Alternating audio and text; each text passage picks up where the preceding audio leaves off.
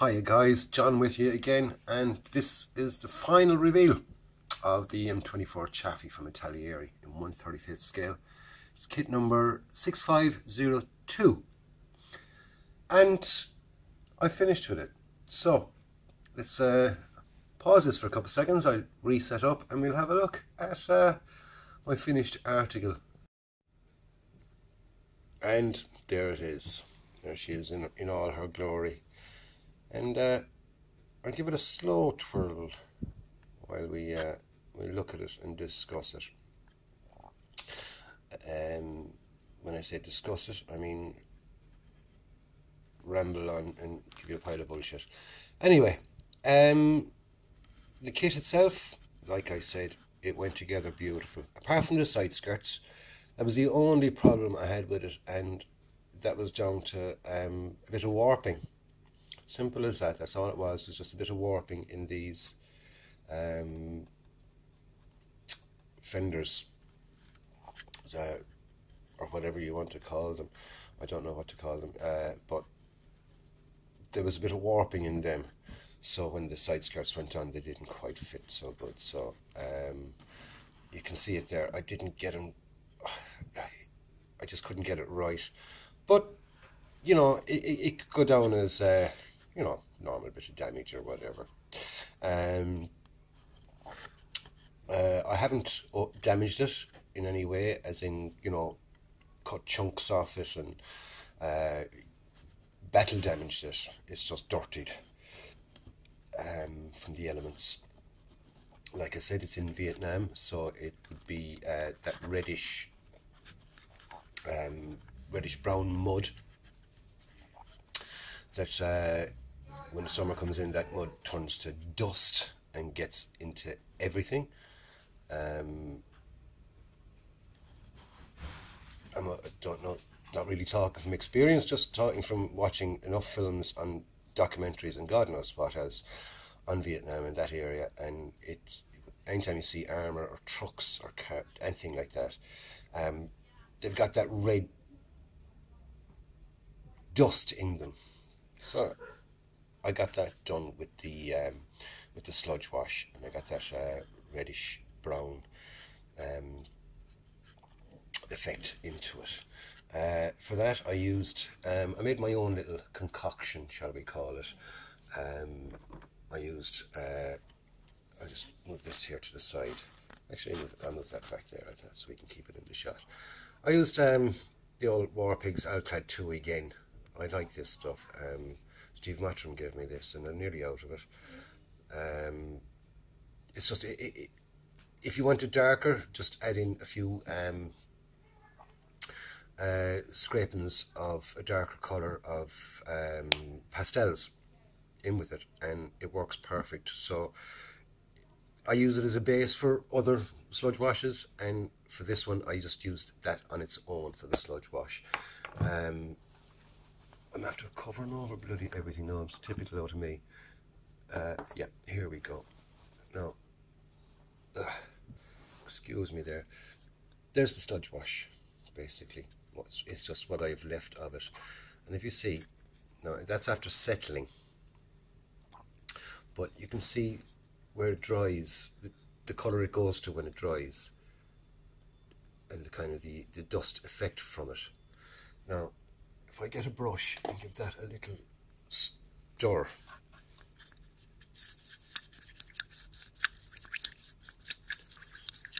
it goes very, very brown. So when you paint it onto your model, as you can see, your model gets coated in that. But when it dries in, it dries in like that, which is a nice kind of a, a reddish brown colour and then with a bit of um, when that dries onto the model a bit of uh, a bit of kitchen paper or, um, some cotton buds and things and take off what you don't need. And in areas around uh, handles and fragile bits and pieces and also I found it in, in around the bottom of the um, the, the 50 cal here it kind of collected a bit too much couldn't get in paper, couldn't get in um, um, cotton bud, and I don't have the uh, little, to me, little cotton buds, tiny little ones. So what I did was I used a paintbrush. I'd wet the paintbrush and took most of it off, and then just with a damp brush, moved it off, then wiped it off. You know what I mean? Got that area nice and wet, in along there, and just used the paintbrush, dabbing it onto um, a bit of tissue, keeping it clean, keeping the paintbrush clean, but moist, not totally wet, not dry, just moist. And what it'll do is it'll remove, and you can manipulate the dust and the mud around into where you want it to. And it works, it works, it really does, and it, it, it comes up fabulous. Now, that might look good in the pictures, which I think it does, but in real life that even looks better again. Now, it's got a metal barrel, so what I did was, instead of trying, you know, to make it look metallic looking at the end, being already metal underneath, just scraped off a little bit of the um, of the green paint. Just a little bit, give it a little um, little rub of a, a, a, very, very fine sander. And that gave it the, uh, you know, the metal effect around the tip of the barrel. Metal effect on um, areas like, uh, you know, a little bit here under the turret, there's that ring there, the front of that there, and a couple of little other spots, not too many of them. You can, the, the next, doing the process with a, with a pencil and getting the graphite to get that little shiny piece, pieces and things like that, it can be overdone so easily because you could, you, in other words, you could go around the whole thing and all it would just look horrible. So it's it it's where you break off aerials and things. Well done, John. You fucking idiot, John. Anyway, uh, that's another thing to be glued back on. I'm always breaking things off, aren't Constantly at it. Anyway, I'll glue that back in again in a while. It's no major biggie. Um, it, it, of all the things that come off, it's one of the easiest bloody things to go back on. Um, if you remember, my I, I knocked off one of the yokes that, that was up here, and when I went to put it back on, it pinged off my tweezers straight onto the floor, and uh, I couldn't find it. Could not find it anywhere. Um, tried to fabricate one up, and it just looked wrong. So I just took off the other one. Simple as that. That's all I did. I just took off the other one. Um, Switcher even said to me about about the handles and things. If they haven't got a locator pin, just drill a small little kind of a pilot hole for them, and I'll definitely do that in the future. So thanks, Rick. Thanks for that one. Um, I should have copped it. it. It's so simple. Uh, you know, if it hasn't got a locator hole, give it a locator hole. you know? Uh, so th- thanks, Rick, for that one. I, I should. That's common sense. I should have copped that, but uh, there's lots of things in common sense that I don't cop.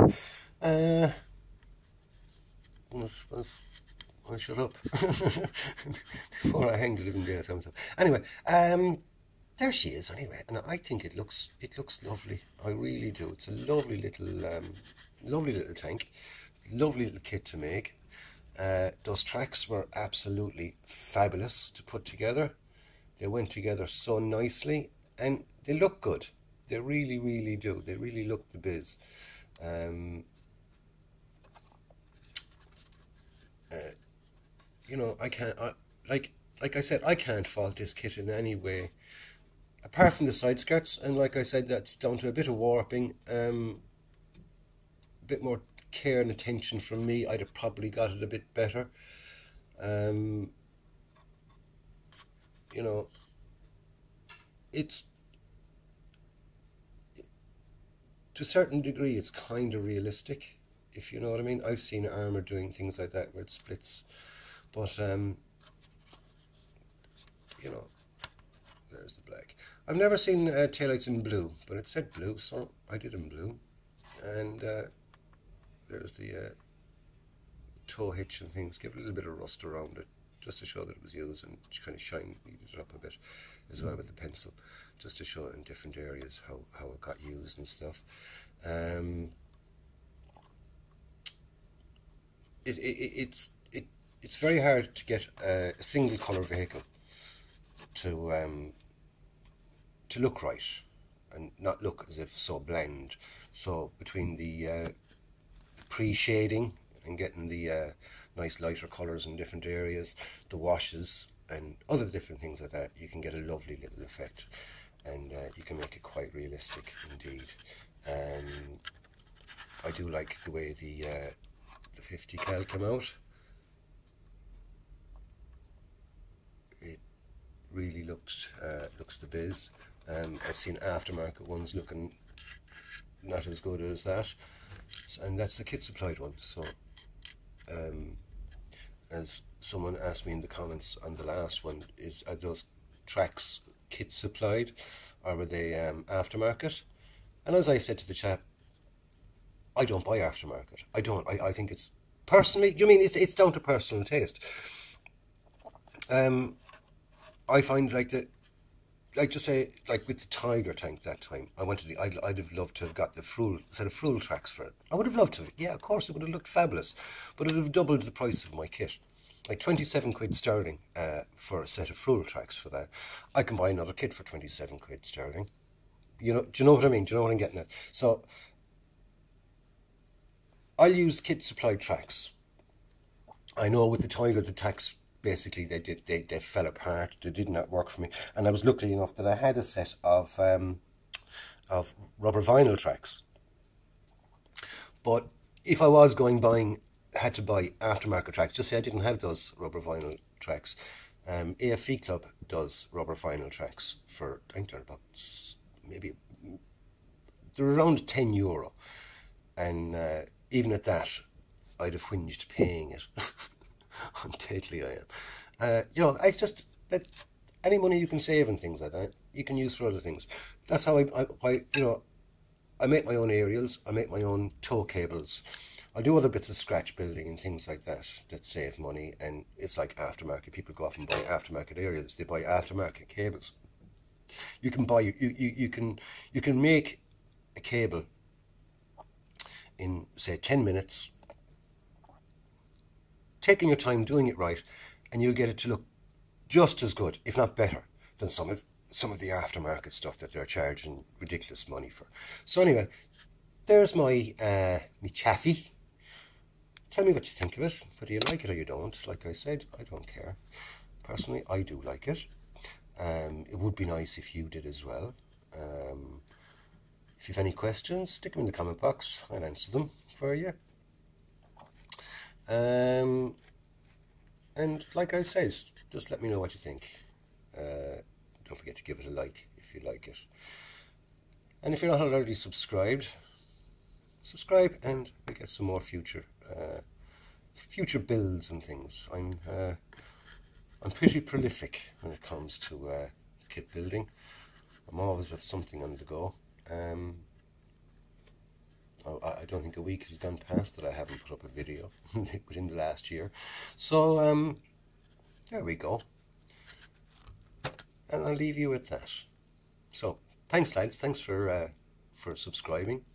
Uh, I'm up to 415 subscribers. I just checked that, had a look at that there this morning. For my God, 415! I couldn't believe it. So anyway, thank you guys. Thanks for subscribing. Thanks for commenting and liking, and uh, just thanks for taking the time out to even bother watching these things. I enjoy making them. I enjoy doing all this, and uh, it is nice that um, it's it, it's getting some response. I'm not talking to myself. So anyway, let's catch you up in the next one. Hope you enjoyed it, and uh, stay tuned for future uh, builds and things.